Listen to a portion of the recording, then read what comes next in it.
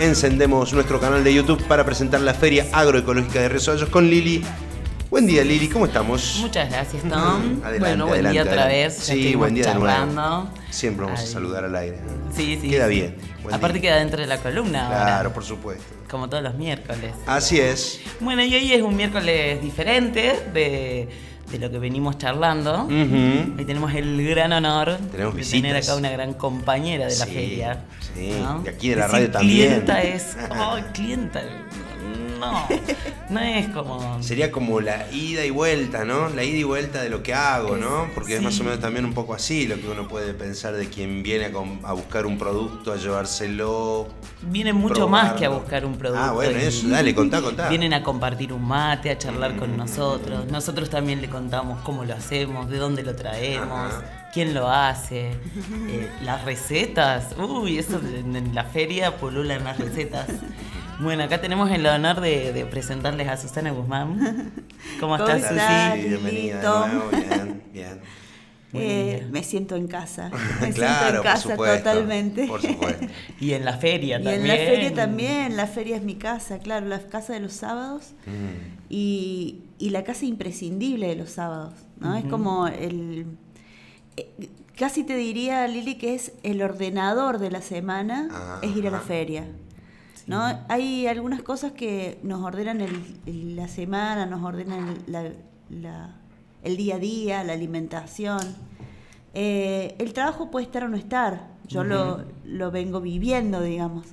Pero ir a la feria los sábados es nada, organizar la comida para toda la semana, o sea, es imprescindible. El día que no, el sábado que no podemos ir a la feria, como va a suceder este sábado que tenemos que viajar, em, no podemos tener la comida de la semana, ¿no? Claro. Y abastecernos no solamente de la comida, sino también de, de esos mates de conversación que tienen mucho que ver con el vivir en las Sierras Chicas, con Mm. vivir en, en este lugar en donde nos, nos encontramos más allá de nada. El supermercado no es el mejor lugar para encontrarse. No, en cambio, no, la no. feria es un lugar que te abraza, ¿no? Entras Qué- caminando. Muy bien ese y- detalle. Sí, totalmente.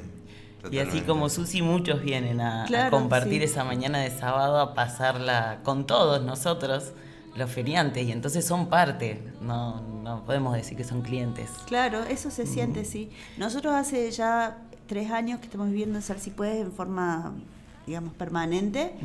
Y apenas nos vinimos a vivir acá, este, dijimos, "Mm, hay una feria.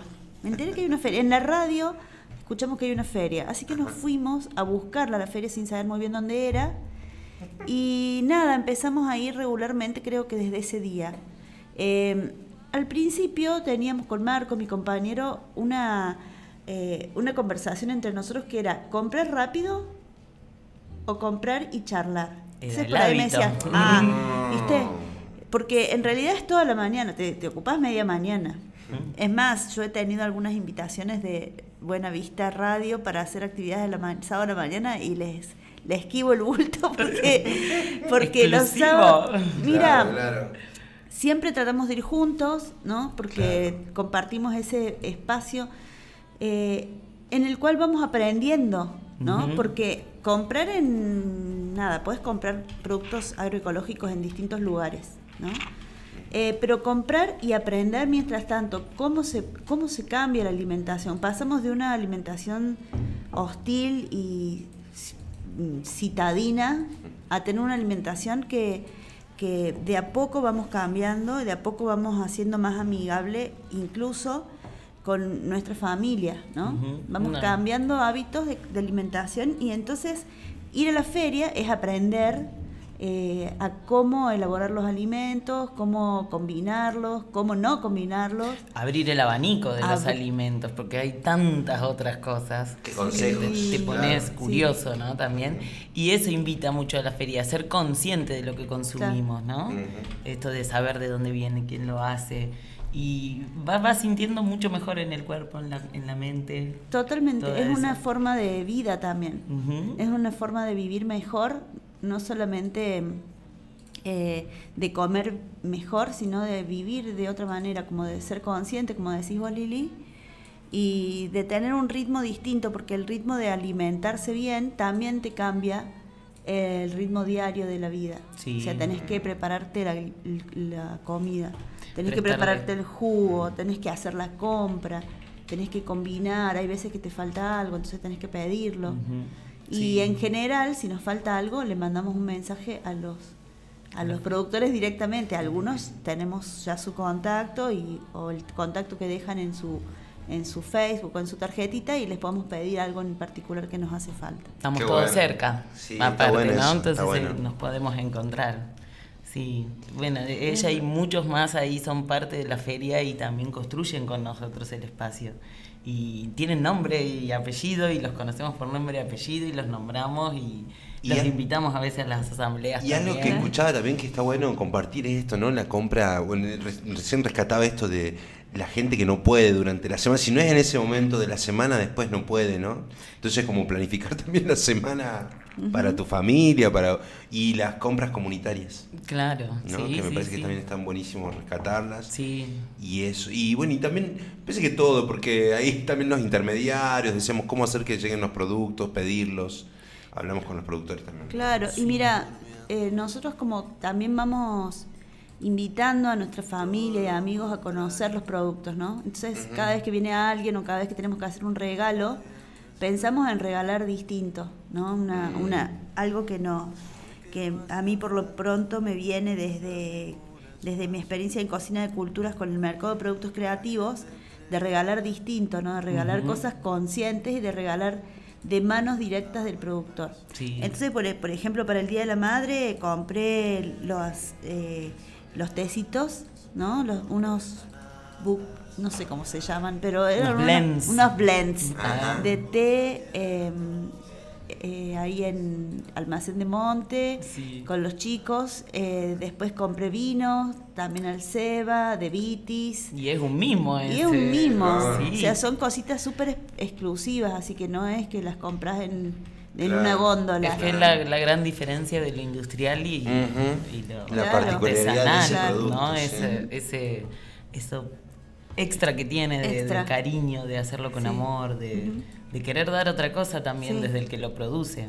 Y qué bueno que se perciba. Y yo creo que ese mismo percibir hace transmitirle y compartirle al otro, al que amás, al que querés, Claro. darle algo así. Ay, qué Exactamente, lindo. estamos como concientizando gente. Y el- aparte que si vos concientizas con un producto que está súper rico, qué sé yo, los quesitos de latería, Mm. los eh, fiambres de Claudia, no me acuerdo cómo se llama la marca, pero es, eh, es charcutería. de no sé Charcutería qué. serrana. Serrana, sí. Sí. Espectacular, o, o las verduras, o las nueces, o cosas especiales, o por ejemplo los condimentos ahumados de la Lili.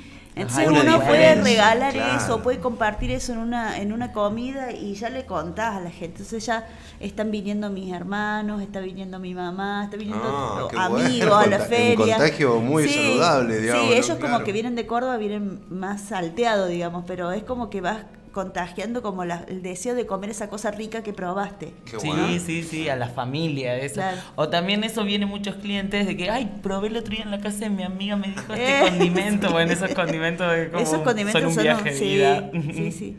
Sí, te hacen toda la comida más rica. Sí, ahora ya todo tiene gusto ahumado. Sí, pero bien, viste, Sí, no te satura, No, es muy, espectacular. muy buena las calidades. Bueno, Eso, y, hem- y hemos encontrado también como amigos, o sea, vas haciéndote amigo de la gente. Mm. No, no te digo una amistad profunda, pero sí que vos tenés en cuenta a las personas. Tenés en cuenta su cara, lo que hace, lo que le pasa.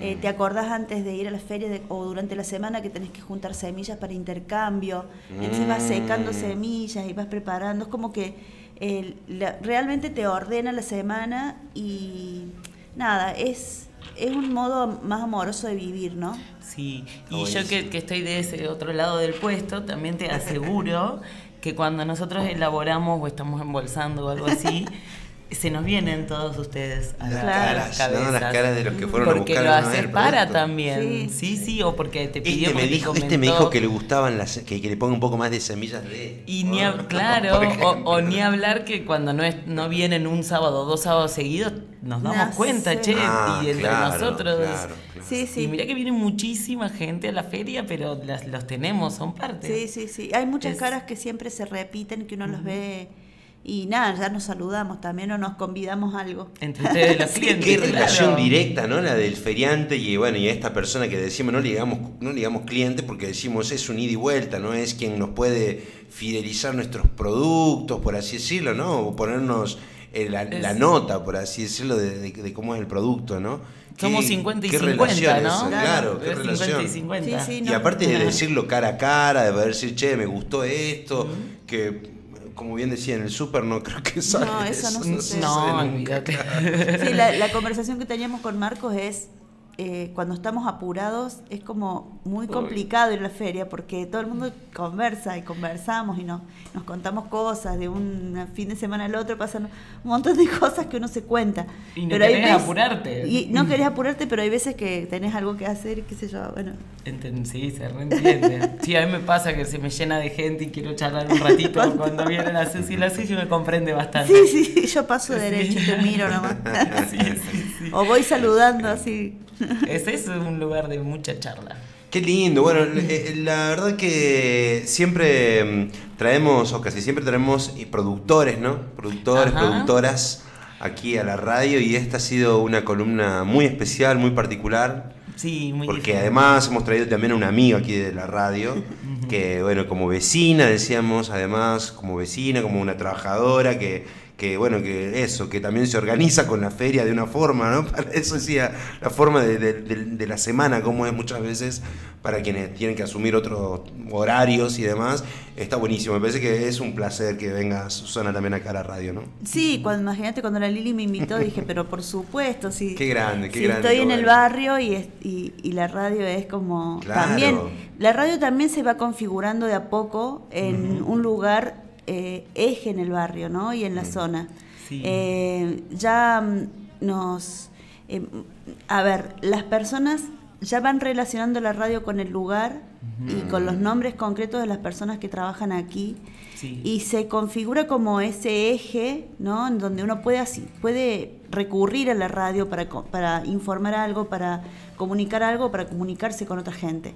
Entonces es como que es una red que estamos creando en, en- en la zona que es imprescindible que la hagamos así, ¿no? En el, eh, yo vengo trabajando mucho con el tema de la presencia física en las actividades culturales pero a la vez también con lo, lo digital. Y mm, entonces podemos hacer como este ida y vuelta entre lo digital, que es imprescindible en los tiempos que corren, mejorar nuestra presencia digital y también mantener y fortalecer la presencia eh, face to face. Sí, ¿no? Sí, sí, sí, sí. claro. que es Y esa red, nada, es como que nos, nos fortalece.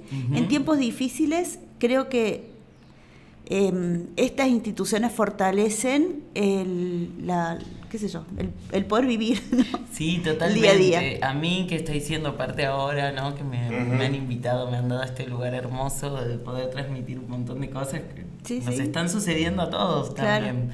Es Se escucha, la, gente está escuchando la radio. ¿eh? Sí, Claro. estoy Y muy agradecida también. Y es Claro. muy cierto lo que dice Susi de, de cómo nos abrimos más en comunidad Mm. y nos podemos ver. Sí, totalmente. Me siento un poco parte, ¿no? De esa, de esa, mm, de esa red y me acuerdo cuando el año pasado tenía la columna aquí, la columna de cultura, que siempre hacía una mención a, a la feria, Sí. ¿no? Porque Sí. es como que estructuraba también eh, un Sí. poco la conversación. Y es una invitación, ¿no? Es una invitación que esto, que, que más allá del medio de comunicación que es la radio, muchas veces pasa en esto, ¿no? Susi eh, invita a su hermana, a su familia, y así va funcionando también un poco, Claro. ¿no? La radio es solamente, digamos, un parlante, pero me parece que la feria va también, la invitación va por el face to face. ¿no? La cara a Totalmente, cara. sí, sí, pero muy importante el parlante de la, de la radio. Y Claro. mucha gente que escucha la columna, que escucha la radio también. ¿eh?